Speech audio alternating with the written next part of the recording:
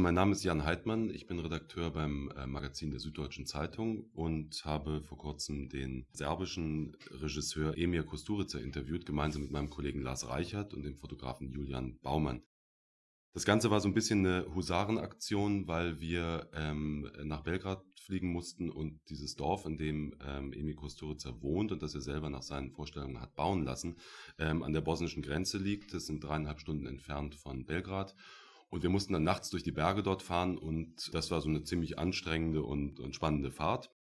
Das war eben auch ehemaliges Kriegsgebiet im, im Bosnienkrieg und ähm, ist heute halt befriedet, aber immer noch eben eine arme Gegend und auch eben eine früher sehr stark umkämpfte Gegend. Und umso mehr ist es dann merkwürdig, wenn man aus dieser eher armen Gegend mit dem Auto plötzlich vor Küstendorf hält. Da gibt es so eine, einen Zaun drumherum und äh, dann kommt man da hinein und dann hat man halt diesen Blick in eine Art Westerndorf, was so ein bisschen zwischen Disneyland und ja eben Westerndorf ist.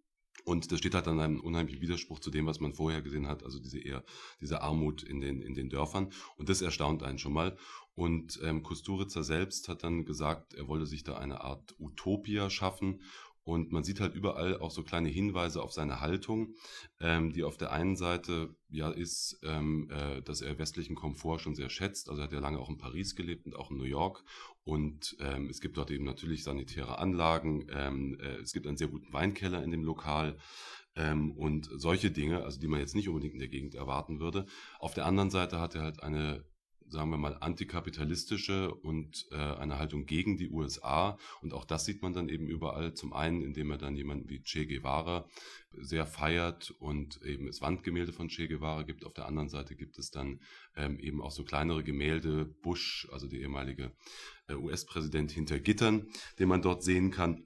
Und das alles ähm, wirkt so ziemlich bizarr auf jemanden, wenn man dorthin kommt aber eben auch ganz, ganz einladend auf der anderen Seite. Es gibt dann auch ähm, biologisch angebautes äh, Gemüse, was man dort essen kann. Also das ist alles in allem sehr, sehr widersprüchlich und äh, entspricht damit aber eben auch Emir Kusturica, der auf der einen Seite wirklich eine charismatische und interessante Figur ist und auf der anderen Seite aber eben auch jemand ist, der mit sehr harten Thesen gegen die Bosnier und für die Serben ähm, regelmäßig provoziert.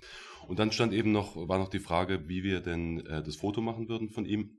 Und es gibt zu dem ähm, Hotel gibt es einen Pool, einen wirklich sehr, sehr schönen Pool. Und die Idee war dann eben, ihn in diesen Pool zu stellen, äh, am besten in der ganzen Montur. Wir haben ihn gefragt und er hat dann sofort Ja gesagt, das macht er. Und ähm, das liegt wahrscheinlich daran, dass er selber Filmemacher ist und deswegen natürlich auch weiß, dass man ganz gut inszenierte Bilder braucht.